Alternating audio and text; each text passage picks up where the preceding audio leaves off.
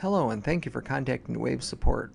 I have a few thoughts regarding improving comfort for this particular contact lens.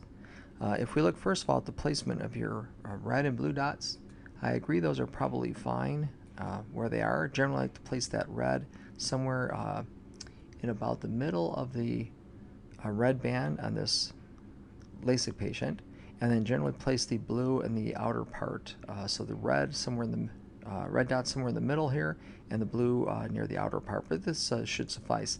The bigger concern with this uh, lens is this uh, uh, pink dot. If you look at the edge lift, you basically have um, 0.1 for the edge lift here at the pink dot. This downturning curve in the landing zone is most likely causing comfort issues. if you go around the clock dial, you'll notice that all the way around it's kind of tight, so this is basically going to give you sort of a cookie cutter um, comfort effect. So what you want to do is improve this alignment area and try to get a little more edge lift on this lens.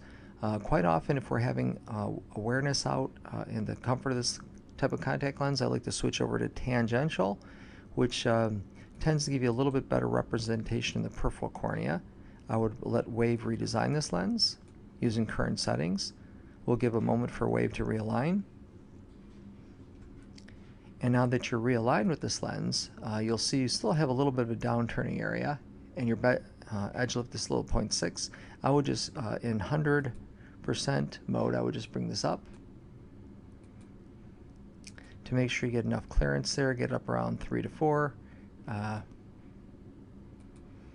you're probably okay in that area. That'll give you a little bit more of an edge lift uh, on this lens.